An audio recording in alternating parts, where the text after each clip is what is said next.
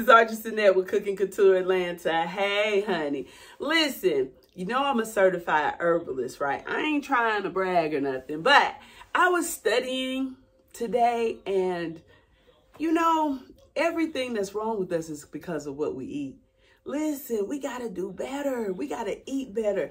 Anyway, I'm studying the circulatory system right now, and I really wanted to give you some herbs that you got to have. If you got any problems with blood flow, your heart, your legs, it that's just blood. Everything is blood flow. Your circulation system. Listen, you need to be having some Chinese ginseng, garlic.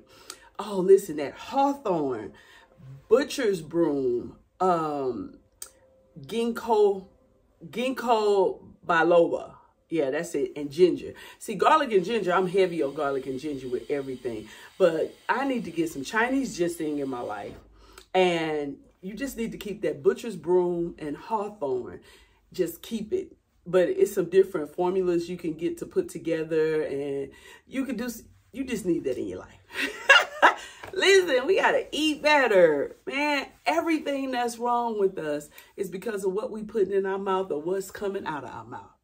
We just got to do better.